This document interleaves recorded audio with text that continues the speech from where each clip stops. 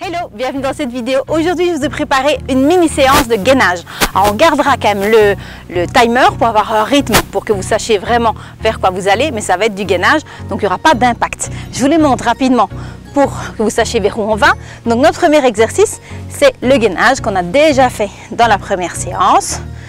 Ok, le gainage. Le deuxième exercice, ce sera le gainage latéral, où je vais pivoter et monter la main. Vous pouvez mettre votre main à plat, voilà, comme ça. Ok. Ensuite, l'exercice suivant, ce sera coucher au sol le pont des épaules. Donc, on se couche, on aura 15 secondes pour changer de position.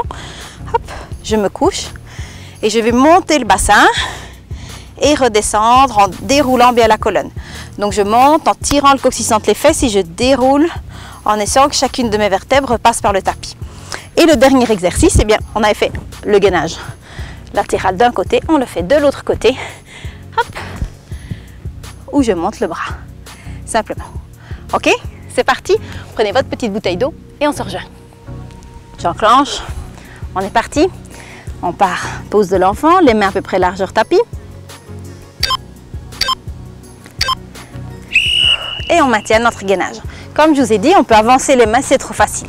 Au fur et à mesure des semaines, on va corser le gainage. On va essayer de fignoler, d'y aller crescendo, de bien vérifier la position et de faire justement un gainage de qualité. Voilà, donc avec le ventre bien rentré. C'est possible que déjà ce petit timing-là soit déjà un peu long pour vous.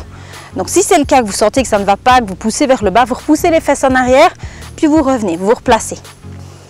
5 secondes à tenir. Hop, on va se mettre de côté. J'ai la main qui est plus loin que mon épaule. Ok, je mets les jambes l'une sur l'autre avec la jambe du dessus qui est vers l'avant. Ensuite, je vais repousser sur le genou gauche. Pour soulever le bassin et monter le bras vers le ciel. On peut monter la jambe si on veut. Si on veut corser un petit peu, on monte la jambe et on maintient. Alors attention que le bassin ne doit pas filer en arrière non plus. C'est les mêmes consignes. On va vraiment essayer de garder le ventre bien rentré. Voilà. Si c'est trop dur, vous posez le pied. On maintient.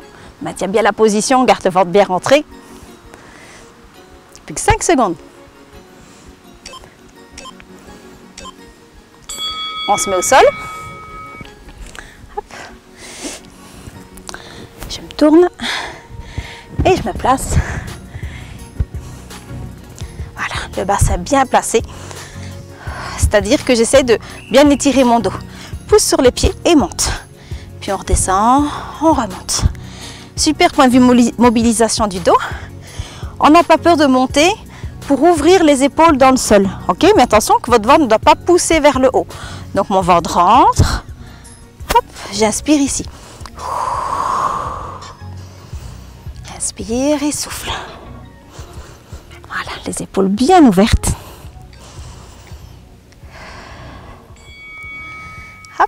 Et mon dernier. Donc les mêmes consignes.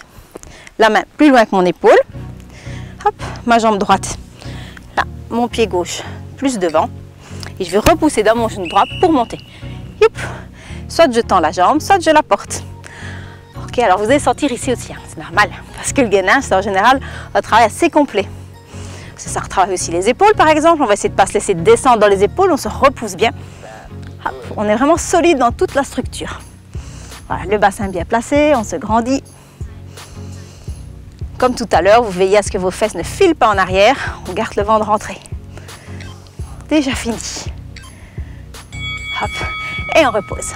Voilà, c'était un tout mini entraînement, que du gainage, mais vous l'avez fait, vous avez pris le temps, c'est ça qui compte. Vaut mieux quelques minutes que rien du tout.